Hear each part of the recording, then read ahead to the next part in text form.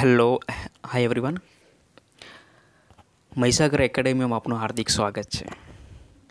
આજના જનરલ નોલેજના લેક્ચરમાં આપણે અગત્યના ટોપિક પર ચર્ચા કરવાના છીએ.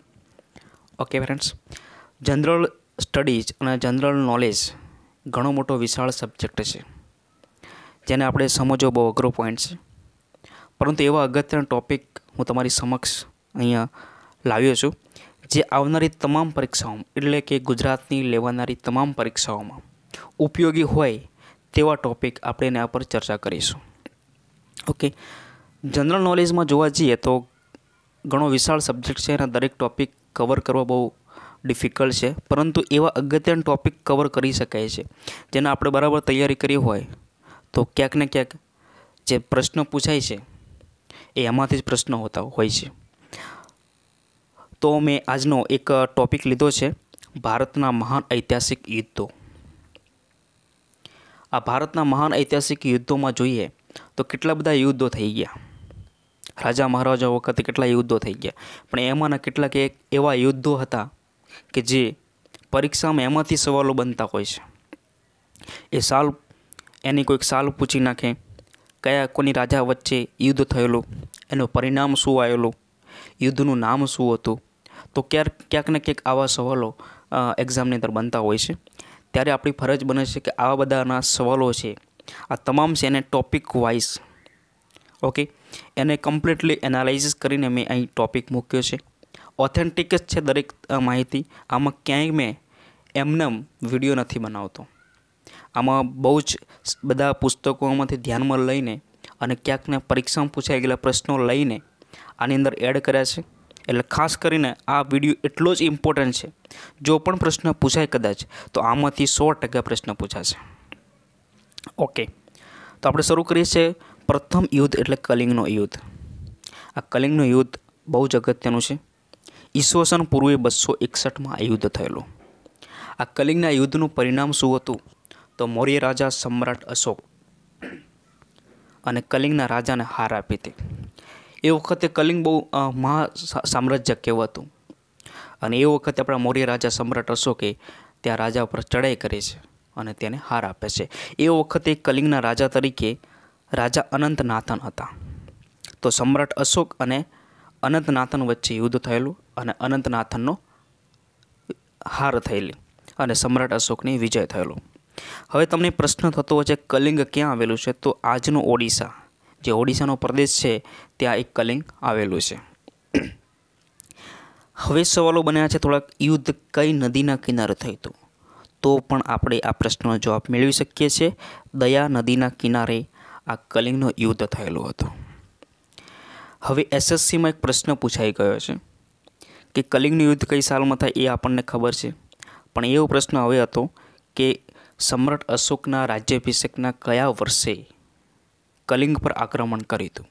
હવે આ પ્રશ્ન આપણી ગુજરાતની પરીક્ષામાં પૂછાઈ શકે છે. ખાસ ઇમ્પોર્ટન્ટ નોંધી લેજો. તો સમ્રાટ અશોકના રાજ્યાભિષેક કર્યો એના આઠમા વર્ષે. કલિંગ પર આક્રમણ કર્યું હતું. તો તમારે આ ધ્યાનમાં રાખવાનો છે પ્રશ્ન? ઓકે. ત્યાર પછી અગત્યનું યુદ્ધ જોઈએ. તરાઈનું પ્રથમ યુદ્ધ અને તરાઈનું બીજું યુદ્ધ. તરાઈનું પ્રથમ યુદ્ધ અગિયારસો એકાણુંમાં થયેલું, તરાઈનું બીજું યુદ્ધ અગિયારસો ને બાણુંમાં થયેલું. આમાં સાલ તમારે પરફેક્ટ યાદ રાખવી પડશે. તરાઈના પ્રથમ યુદ્ધમાં પૃથ્વીરાજે મોહમ્મદ ગોરીને હરાવ્યો હતો. આ પૃથ્વીરાજ અને મોહમ્મદ ગોરી બંને શક્તિશાળી રાજાઓ છે. પરંતુ એ વખતે પૃથ્વીરાજે મોહમ્મદ ગોરીને હરાવી તરાઈનું પ્રથમ યુદ્ધ એવું કહેવાય છે કે મોહમ્મદ ઘોરી અને હાર થયા પછી એને ચેન નહોતું પડતું. એટલે એ જીતવા માટે એક વર્ષ સંઘર્ષ કરવો પડે, ભલે એને એક મોટી વ્યૂહરચના તૈયાર કરી અને ફરીથી એને તરાઈની અંદર યુદ્ધ શરૂ કર્યું. અને બીજા યુદ્ધમાં તે જીતી જાય છે. આમ મોહમ્મદ ગોરીએ પૃથ્વીરાજને હાર આપે છે. એટલે તરાઈનું પ્રથમ યુદ્ધ અગિયારસો એકાણુંમાં, તરાઈનું બીજું યુદ્ધ અગિયારસો બાણુંમાં. ઓકે? ત્યાર પછી એક અગત્યનું યુદ્ધ છે, એટલે કે ચંદ્રવર્ણનું યુદ્ધ. આ ચંદ્રવર્ણનું યુદ્ધ આપણને બહુ જ ડિફિકલ્ટ લાગતું હોય જ્યારે આપણે વાંચ્યું ના હોય, ત્યારે. કારણ કે તરાઈને તો વાંચ્યું હોય, ક્યાંક સાંભળ્યું પણ હોય. ત્યારે ચંદવરનું નામ આવે એટલે આપણને અઘરું લાગતું હોય છે. પરંતુ તરાઈના પછી તરત જ ચંદવરનું યુદ્ધ મહત્ત્વનું છે, અગિયારસો ચોરાણુંમાં થયેલું. હવે તમને યાદ રાખવા માટેની ટ્રીક છે મારી ચંદવર ચ ચ એટલે ચાર એવું થાય. અને અગિયારસો ચોરાણું, એનો જે ચોથો આંકડો છે લાસ્ટ તમને યાદ રહી જશે એના માટે. ઓકે? તો ચંદવાનું યુદ્ધ અગિયારસો ને ચોરાણુંમાં થાય છે. મોહમ્મદ ઘોરીએ જયચંદ હરાવ્યો હતો. આ એ જ જયચંદ છે કે જેણે પૃથ્વીરાજને સપોર્ટ કર્યો હતો પ્રથમ તરાઈ યુદ્ધમાં અને પૃથ્વીરાજ જીતી ગયો હતો. જ્યારે બીજું તરાઈનું યુદ્ધ થાય છે ત્યારે જયચંદ સપોર્ટ કર્યો હતો મોહમ્મદ ગોરીને. અને એ જ મોહમ્મદ ગોરી ફરીથી એની સામે યુદ્ધ કરે છે, જે યુદ્ધ હતું ચંદવનનું યુદ્ધ કહેવાય છે.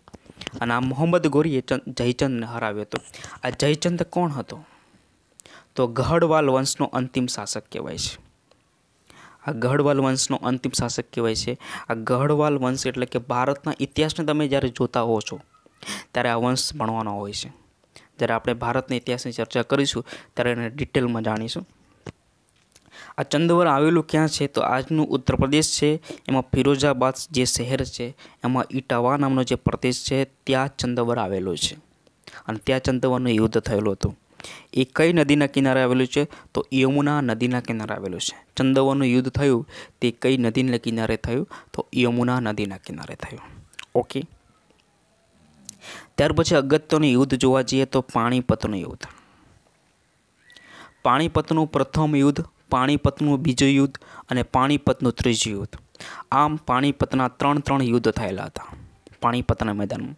પણ અત્યારે હાલ આપણે જ્યારે સિરીઝ પ્રમાણે જોતા હોય ત્યારે પ્રથમ યુદ્ધની ચર્ચા કરીશું જે પંદરસો છવ્વીસમાં થયેલો. પાણીપતનું પ્રથમ યુદ્ધ પંદરસો છવ્વીસમાં થયેલું. એનું જે પરિણામ શું હતું? તો જે બાબર હતો બાબર, એ ઇબ્રાહિમ લોધીને હરાવ્યો હતો. ઓકે?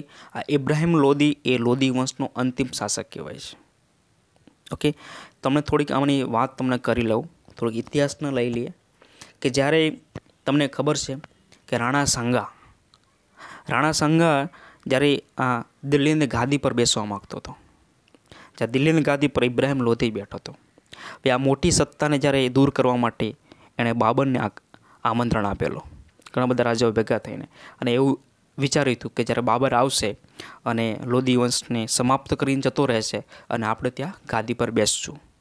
આવી રીતે બાબરને આમંત્રણ આપેલું અને બાબર ઇબ્રાહિમ લોદીનો જ્યારે યુદ્ધ કરેલું. જે યુદ્ધ નામ છે પાણીપતનું પ્રથમ યુદ્ધ. પણ જ્યારે આની બાજી પલટાઈ જાય છે. આપણે જોઈએ આગળ શું થાય છે. પરંતુ એના પહેલાં જે લોધી વંશની વાત આવી છે તો એના વિશે થોડીક અગત્યની માહિતી લઈ લઈએ કે લોધી વંશ વિશે શું અગત્યનું છે. લોધી વંશ વિશે અગત્યને જોઈએ, તો લોધી વંશમાં બહુ મકબરાઓ બનાવવામાં આવેલા. તમે જ્યારે ભારતનો ઇતિહાસ એમાં લોધી વંશ તમે વાંચજો, એટલે તમને ખ્યાલ આવશે કે મકબરાઓ મકબરાઓ, બધા મકબરાઓ શું શું? તો આ મકબરાઓ જ બહુ ઘણા બધા મકબરો બનેલા. ત્યારે સુલતાનો દ્વારા બનાવવામાં આવતા મકબરાઓને અષ્ટભુજાકાર મકબરા કહેવામાં આવે છે. ક્યારેક વન લાઇનર સવાલ બની જતો હોય છે. મને એવું લાગ્યું કે આ ઇમ્પોર્ટન્ટ છે. તો મેં અહીં મૂક્યું છે કે સુલતાનો દ્વારા જે બનાવવામાં આવતા મકબરા હોય તેને અષ્ટભુજાકાર મકબરા કહેવામાં આવતા હતા. જ્યારે અમીર દ્વારા જે સારા બીજો કોઈ વર્ગ હોય સારો, એના દ્વારા જે મકબરા બનાવવામાં આવે, એના ચતુર્ભુજાકાર મકબરા કહેવામાં આવતા હતા. તો તમારે નોટમાં નોટ ડાઉન કરી લેજો, ઇમ્પોર્ટન્ટ છે એટલા માટે. ઓકે. ત્યાર પછી તરત જ ખાનવાનું યુદ્ધ થાય છે પંદરસો સત્યાવીસમાં. તમને મેં કીધી, એક વાત કરી હતી કે રાણા સંઘાએ જામંત્રણ આપ્યું હતું બાબરને. પરંતુ બાબરને ગમી ગયું છે ભારત. સોને કી ચિડિયા ગમી ગઈ છે. તો હવે બાબર વિચારે છે કે હવે આપણે અહીં જ રહેવું પડે. તો રાણા સંઘાને થયું કે હવે આ તો આપણી બાજી પલટાઈ ગઈ. તો રાણા સંઘે શું કર્યું? મોહમ્મદ લોધીને રાજા બનાવ્યો દિલ્હીની ગાદી પર તું હવે ગાદી પર તને રાજ્યાભિષેક કરાવીશું. અને હસન ખાં મેવાતી અને રાણા સંઘા આમ ત્રણ ભેગા થઈ બાબર સામે યુદ્ધ કરે છે. અને જે યુદ્ધ કર્યું એને ખાનવાનું યુદ્ધ કહે છે, પરંતુ આમાં બાબર જીતી જાય છે. રાણા સંઘાનું સપનું ત્યાં અધૂરું રહી જાય છે. આમ જોવા જઈએ તો રાજપૂત સત્તા ત્યાં ગુમાવી બેઠો છે. હવે દિલ્હી ગાદી પર કોઈ રાજપૂત સત્તા આવવાની નથી. તો આ જે ખાનવાનું યુદ્ધ થયું એ પંદરસો સત્યાવીસમાં થયેલું. ખાસ યાદ રાખજો, રાણા સંઘા વર્સિસ બાબર. ત્યાર પછી એક અગત્યનું યુદ્ધ છે ચંદેરીનું યુદ્ધ અને ઘાઘરાનું યુદ્ધ. ચંદ્રની યુદ્ધમાં બાબરે મેદની રાયને હરાવ્યો હતો અને ઘાઘરાના યુદ્ધમાં અફઘાનીઓને હરાવ્યા હતા. હવે ખાસ તમારે યાદ રાખવાનું છે ખાનવાનું યુદ્ધ પંદરસો સત્યાવીસમાં થયેલું અને પંદરસો અઠ્યાવીસમાં ચંદેરીનું યુદ્ધ અને પંદરસો ઓગણત્રીસમાં ઘાઘરાનું યુદ્ધ. એટલે તમારું જો ખાનવાનું યુદ્ધ એટલે કે ખાનવાનું કે યાદ રાખજો ચંદ્રીનો સી યાદ રાખજો ઘાઘરાનો જી યાદ રાખજો. ઇન શોર્ટમાં આવું બનશે કે, સી, જી. આ સળંગ પંદરસો સત્યાવીસ, પંદરસો અઠ્યાવીસ અને પંદરસો ઓગણત્રીસ આમાં યુદ્ધ સળંગ થયેલા હતા. એટલે ક્યારેક સાલ તમારી સાલ પૂછી લે, તો તમને આ મગજમાં ક્રોનોલોજી યાદ હશે, કે, સી, જી. ઓકે? તો એ બાબરના યુદ્ધ હતા ત્રણે ત્રણ. ઓકે, ચાલો.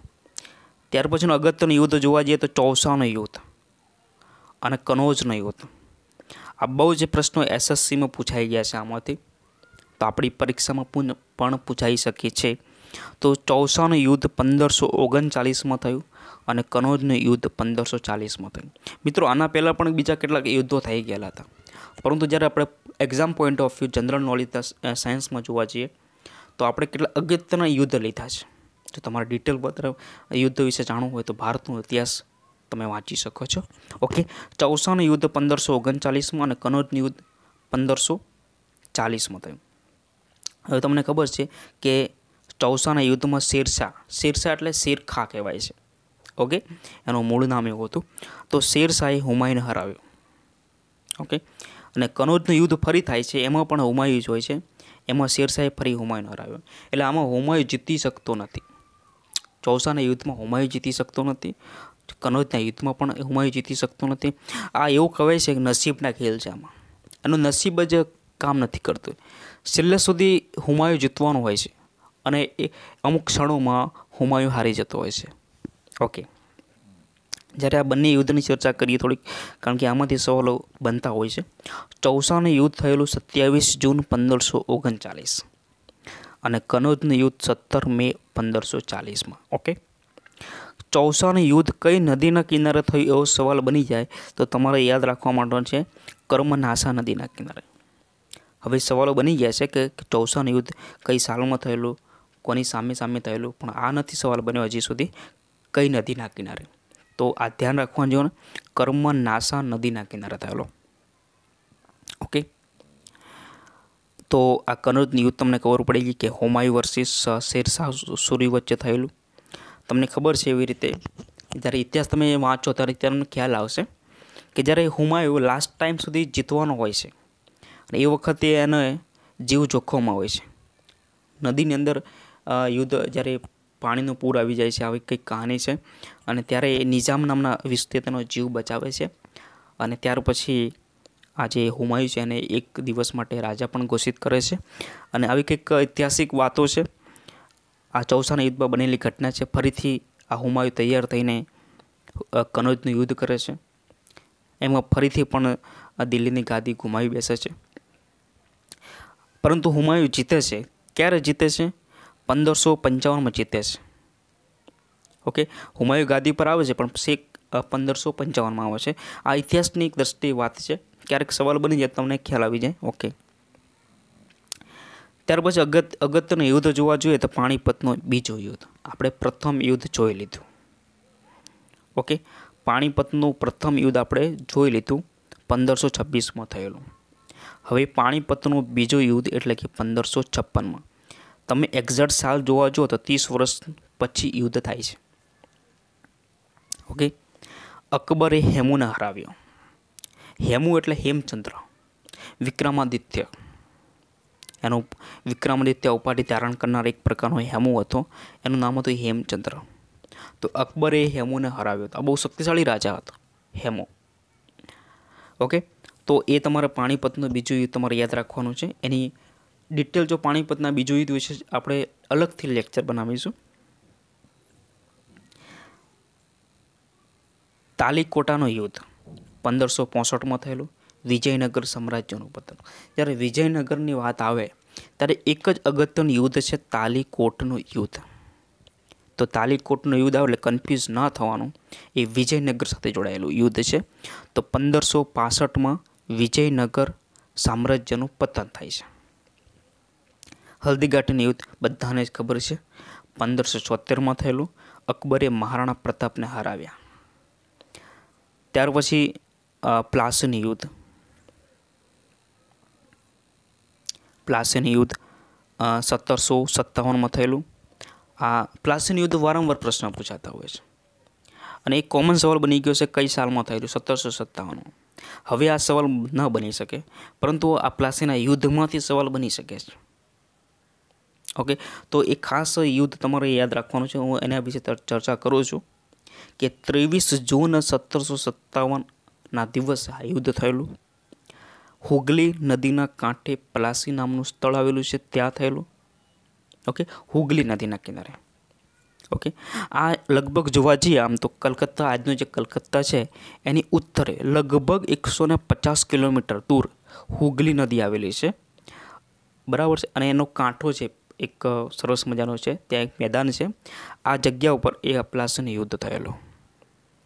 તમને ખ્યાલ હશે, એવી રીતે વાત કરીએ તમને કે બંગાળના છેલ્લા સ્વતંત્ર, જે બંગાળનો છેલ્લો સ્વતંત્ર નવાબ હતો સિરાજ ઉદ્દૌલા. આ સિરાજ ઉદ્દૌલા અને બ્રિટિશ ઈસ્ટ ઇન્ડિયા કંપની વચ્ચે આ યુદ્ધ થયેલો હતો. ઓકે? તો તમારે એ યાદ રાખવાનું છે કે રોબર્ટ ક્લાઇવ સિરાજ ઉદ્દૌલાને હરાવ્યો હતો, રોબર્ટ ક્લાઇવ હવે આમાં કેવું થયું કે સિરાજ ઉદ્દૌલા અને મીર મદન અને ફ્રેન્ચ સૈન્ય આટલા એક બાજુ હતા. અને એની સામે Robert Clive captain Eyre Coote, Mir Jafar Amichand Rai Durlabh.